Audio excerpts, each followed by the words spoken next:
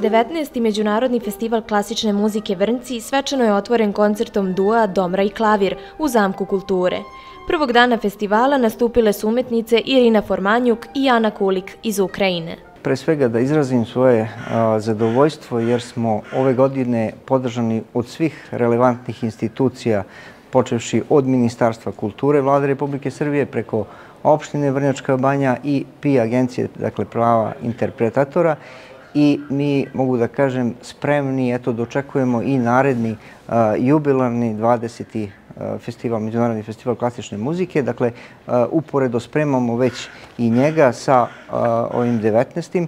Dakle, to je nama vrlo bitno da su nas ovaj, svi podržali, da može da pružimo jedan zaista kvalitetan i raznolik sadržaj i tokom ovog 19. festivala i na zadovoljstvo svih nas uživamo ovih pet narednih dana. Tokom pet festivalskih dana publici će se predstaviti, osim umetnika iz Srbije, izvođači iz Ukrajine, Mađarske i Španije. Umetnički direktor festivala, profesor dr. Uroš Dojčinović, ekipi Vrnjačke televizije predstavio je učesnike. Dolazi nam jedan mađarski sjajan duo, operska pevačica, soliskinja Budampeštanske opere i kolega koji će je pratiti. Imamo jedan sjajan posljednjeg dana španski duo, jedan od braće Kvenka koji su čuveni, nekada su zajedno svirali, međutim taj stariji brat je ovaj, trenutno oboleo, nije došao, ali ima sjajnu zamenu Carlesa Ponsa, koji je svoje vremeno pre sad sigurno 15-20 godina bio u jednom navratu, posjetio Srbiju i naravno njegov kolega, kažem, Kvenka, pijanista. Tu je i naša Tanja Andrić, sopraniskinja koja je sve prisutnija ovih zadnjih godina na sceni, koji ću ja malo pomoći sa, sa mojim instrumentom. Moram da kažem da su uslovi ovog puta fantastični. Pretpostavljam da gledalci i slušalci znaju da je dosta urađeno na adaptaciji zamka kulture.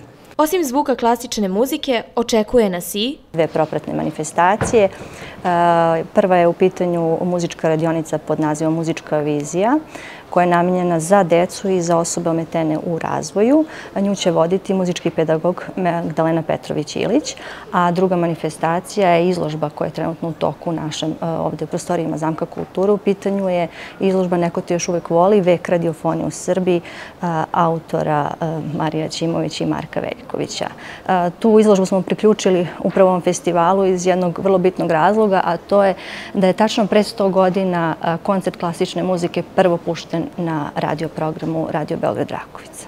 Drugog dana festivala klasične muzike održan je koncert pod nazivom Pesma nas je održala, u znaku obeležavanja značajnih godišnjica slovenskih, španskih i južnoafričkih kompozitora. Trećeg dana začuo se zvuk gitare i solistički koncert Uspomene i suveniri pod palicom Uroša Dojčinovića.